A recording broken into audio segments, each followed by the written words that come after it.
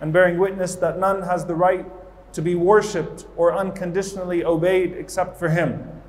And we bear witness that Muhammad sallallahu alayhi wasallam is his final messenger.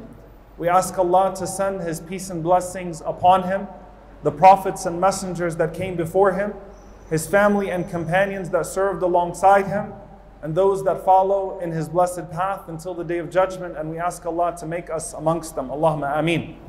My dear respected brothers and sisters, when we talk about the lives that we live and the unique ways in which Allah subhanahu wa ta'ala has granted us the circumstances that He has, Allah is the one without whom a leaf of a tree would not fall until He gives it permission.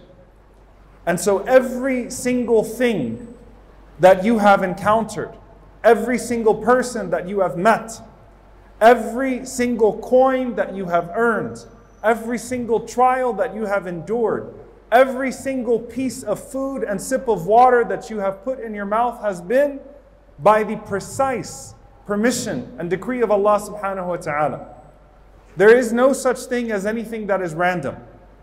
And when you see your life and you see the life of someone else, know that Allah subhanahu wa ta'ala has put you here for a very specific purpose and has given you a customized path to attain not just Jannah, not just paradise, but to attain the highest level of paradise no matter what your circumstances are. Some people will enter into Jannah and enter into the highest level of paradise because they were generous with their wealth. Allah bestowed much wealth upon them and they were generous with it. And some people will enter into paradise, into the highest levels, and they did not experience any of the wealth of this world because they were patient and they were grateful with Allah subhanahu wa ta'ala. Some people will enter paradise barely scratched. They came into this life and they live very comfortable lives. And some people will enter into paradise with wounds all over them. The difficulties of this life scarring every part of their body. Some people will enter paradise and will be prominent in paradise, and they were prominent in this world. But the majority of the people of paradise are those that were unknown in this world, those that were left out in this world, those that were looked down upon in this world, or not even given a second glance. And I want you to think for a moment about this, dear brothers and sisters. There was a, a quote of sorts that resonated with me some time ago that as human beings, we fear living an ordinary life. You know, everything in the advent of media gives us this idea that unless you live an extraordinary life, an extraordinary life, it doesn't necessarily mean a life of riches or glamour, an extraordinary life then your life does not have the same amount of value as someone else. And so the majority of people are like those that are sitting outside of a house looking through the window and seeing people feast and seeing people enjoy. And that can lead you to think, what's my purpose here on earth? Why am I living this ordinary life if my entire life is just trying to survive? And the reality of the world is that most people pass through this life just trying to live to a point that it can feel like you're living life to live, just earning for your daily life, just getting by. And that's the majority of people. And so you might think, why? What's my role then? How do I ascend? And dear brothers and sisters, in that is one of the most profound ways to connect to Rasulullah sallallahu alaihi wasallam. Oftentimes, when we talk about connecting to the Prophet sallallahu alaihi wasallam, we talk about him in the capacity of how he dealt with extraordinary difficulty.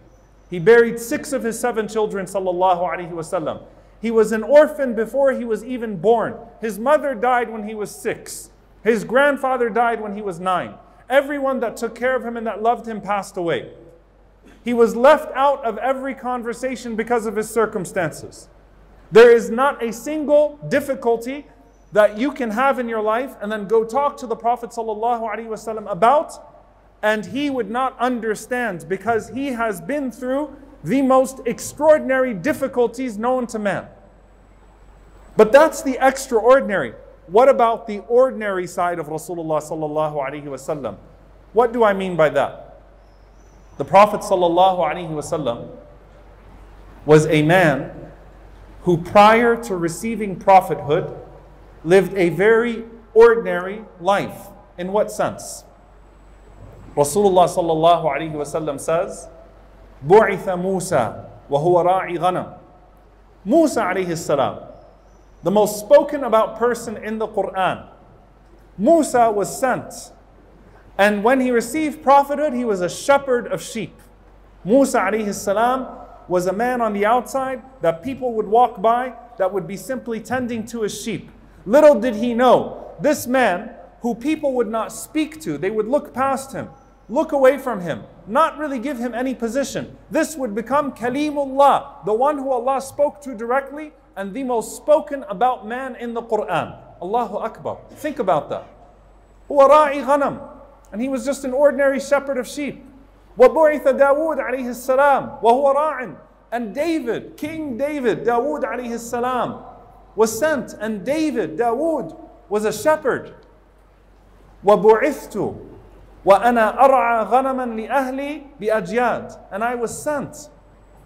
And I, Muhammad sallallahu alayhi wasallam, was just a shepherd. I used to shepherd the sheep in Ajyad. If you go towards Mecca, uh, if you go to the Kaaba, may Allah subhanahu wa ta'ala grant us all the opportunity to visit in Umrah and Hajj multiple times. You'll see the area of Ajyad. Rasulullah said, I remember. it's like I'm looking at myself. You know, when you grow older and you see a younger version of yourself?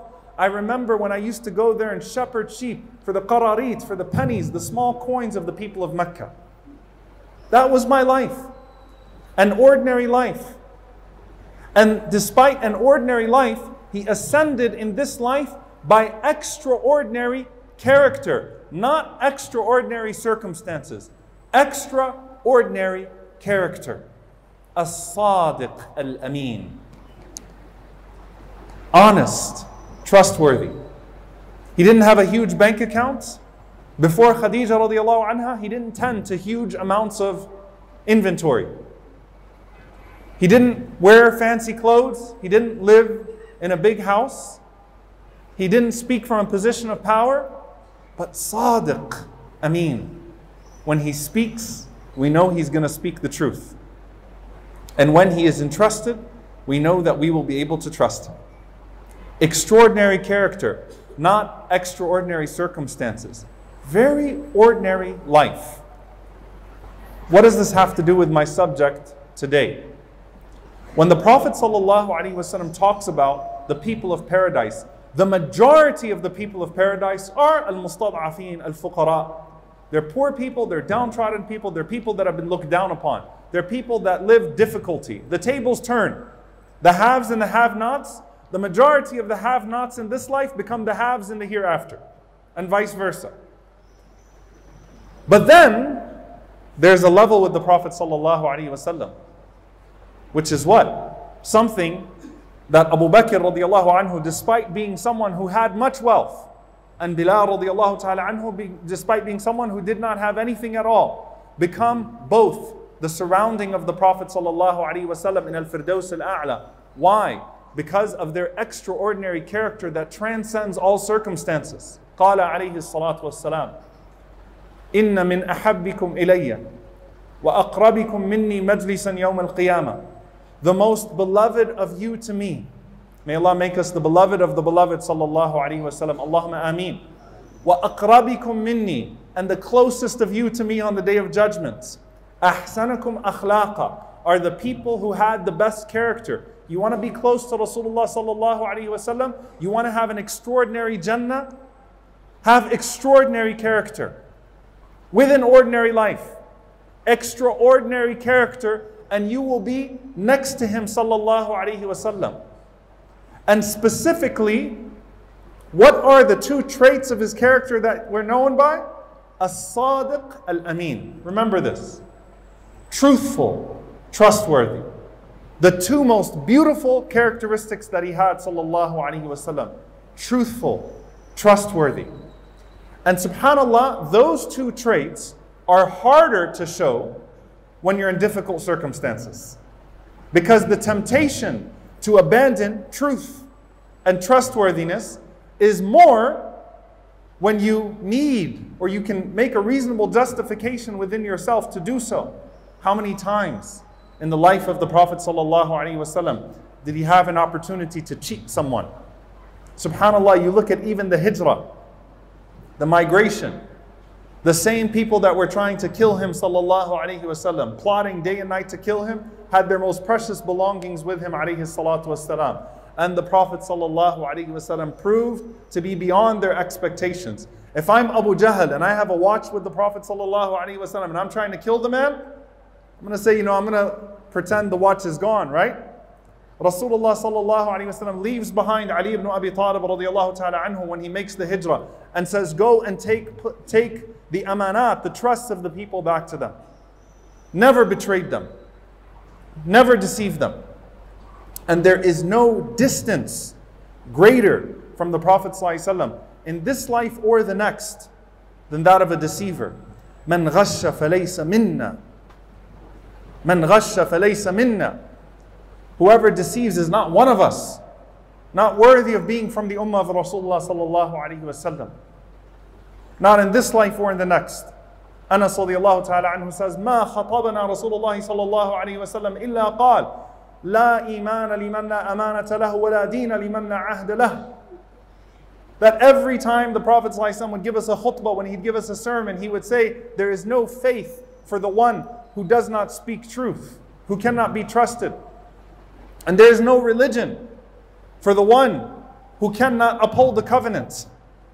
The furthest from the Prophet ﷺ you get in this life or the next is when you betray his two most prominent characteristics truthful, trustworthy, as-sadiq al-amin. You can't be from the ummah of as-sadiq al-amin and then be known for everything but sidq and amana. Cheating the people. For what? An extra coin, an extra position. Cheating the people when you own a palace because the betrayal of amana comes at leadership. Your bank account already has hundreds of millions of dollars and you go and you cheat the people and you take hundreds and millions more. Why? What do you gain from Allah subhanahu wa ta'ala? How are you from the ummah of Muhammad sallallahu alayhi wa sallam? How can you claim to be from the ummah of a sadiq al-amin and cheat the people in whatever position you are in, the highest or the lowest? How? And subhanallah, I give you this hadith, which wallahi, is one of the most hopeful ahadith. In my opinion, in my opinion, one of the most hopeful ahadith in all of the body of hadith literature. You know what it is? Abu Sa'id al-Khudri radiyallahu ta'ala anhu. He said that Rasulullah sallallahu alayhi wasallam said, التاجر الأمين الصدوق A merchant, a person who's just going about earning their day to day, which is the majority of people, earning their day to day living, who is truthful and who is trustworthy. They speak the truth, they don't lie about what they're selling, they don't, they don't speak untruths about their product to get a better deal. Al Amin, they can be entrusted, they don't deceive. Al Tajir, Al Saduq, Al Amin, مع النبيين والصديقين والشهداء. The Prophet ﷺ said that on the day of judgment, that honest, truthful, trustworthy merchant is going to be in Jannah with the prophets, with the prophets and the martyrs and the truthful people, as-siddiqeen. Allahu Akbar. You imagine when we're all in Jannah, may Allah subhanahu wa ta'ala, as He gathered us here in His masjid on the day of Jum'ah, may He gather us in Al-Firdaus Al-A'la, in the highest level of Jannah. Allahumma ameen. When you're going around in Jannah and you're meeting the people in that highest level, Muhammad sallallahu alayhi wasallam and Musa alayhi salam and Dawood alayhi salam and Ibrahim alayhi salam, and then from the companions of the Prophet sallallahu Abu Bakr and Umar and Uthman and Ali, and then from the shuhada, the martyrs, Hamza radiallahu ta'ala anhu, Mus'ab radiallahu ta'ala anhu. You're meeting these amazing human beings. And amongst them, average, ordinary people with extraordinary character. May Allah subhanahu wa ta'ala make us amongst them. Allahumma ameen. أقول قولي هذا واستغفر الله لي ولكم ولسائر المسلمين فاستغفروه إنه هو الغفور الرحيم.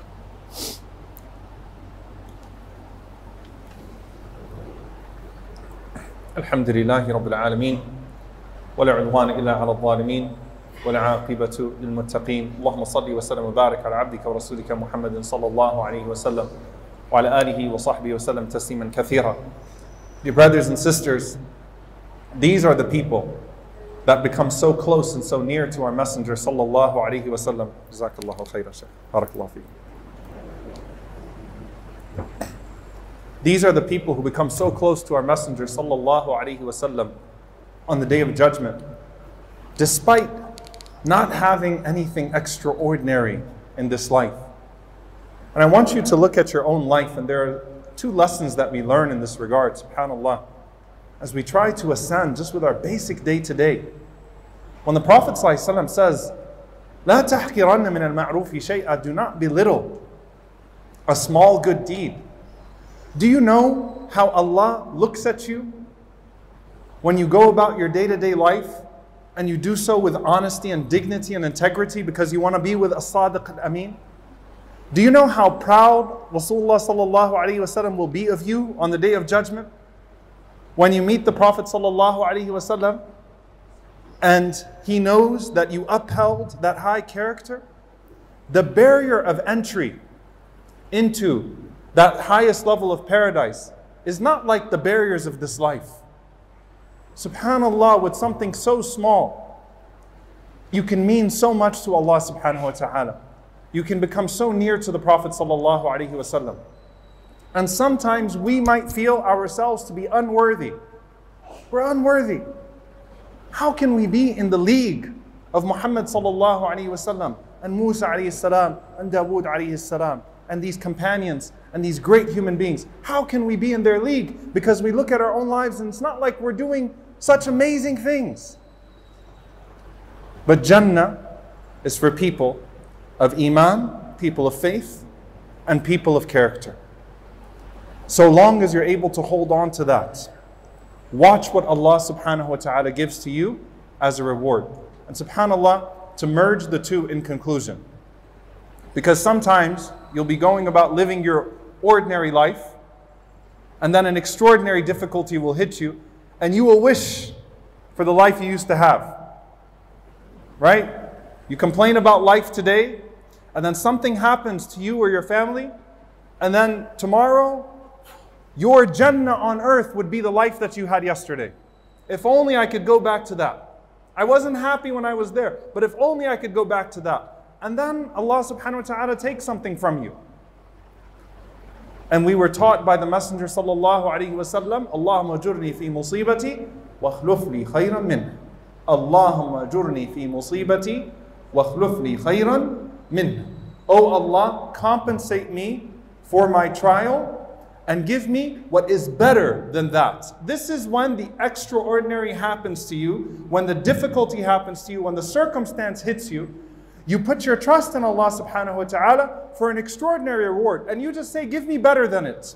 You don't ask Allah to give it to you in this dunya. You don't ask Allah to not give it to you in this dunya. You don't quantify what you're asking Allah. You just say, Oh Allah, I lost something. Oh Allah, give me something better. And in that process, what Allah will give you is so much greater because you dealt with an extraordinary loss with patience. And so you ask for khayran min, something that is better than it. And then you have the intentional day to day. من ترك شيئا لله عوضه الله خيرا منه. Whoever leaves something for Allah, Allah will give something that is much better in return. Whoever leaves something for Allah. This is really applicable to the day to day of what we do.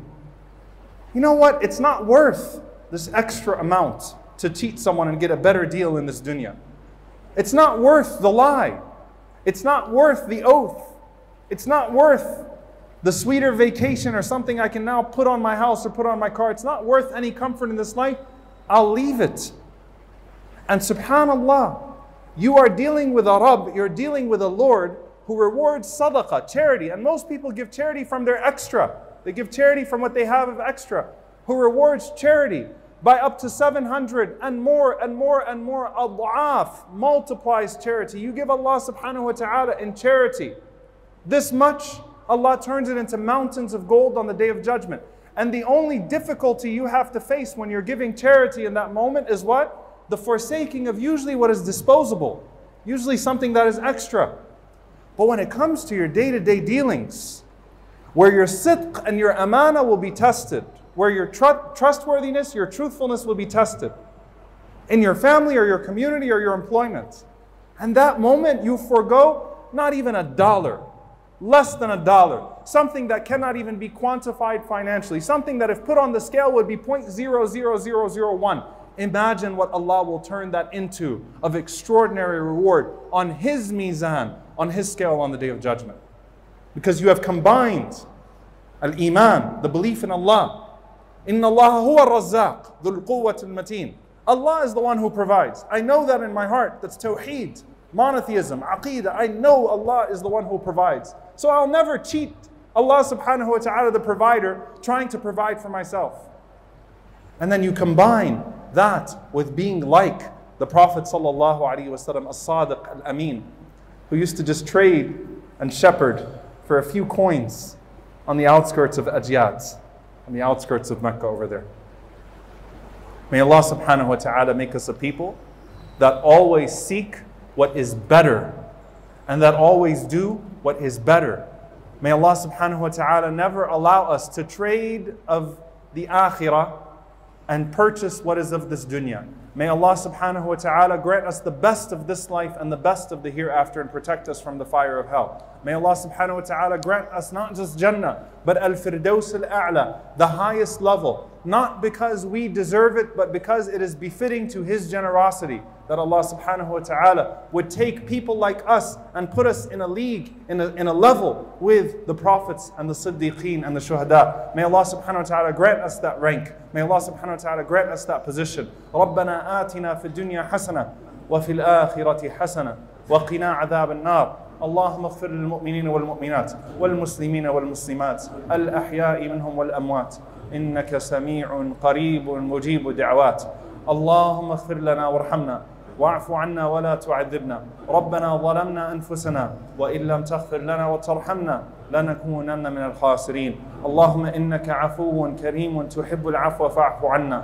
اللهم إنك عفو كريم تحب العفو فاعف عنا. اللهم اغفر لوالدينا رب ارحمهما كما ربونا صغارا. ربنا هب لنا من أزواجنا وذرياتنا قرة أعين واجعلنا للمتقين إماما. اللهم انصر إخواننا المستضعفين في مشارق الأرض ومغاربها. اللهم أعز الإسلام والمسلمين وأذل الشرك والكاذبين ودمر أعداء الدين. اللهم أهلك الظالمين بالظالمين. وأخرجنا وإخواننا من بينهم سالمين. عباد الله إن الله يأمر بالعدل والإحسان وإيتاء ذي القربى وينهى عن الفحشاء والمنكر والبغي. يعظكم لعلكم تذكرون. فاذكروا الله يذكركم واشكروه على النعماء يزد لكم.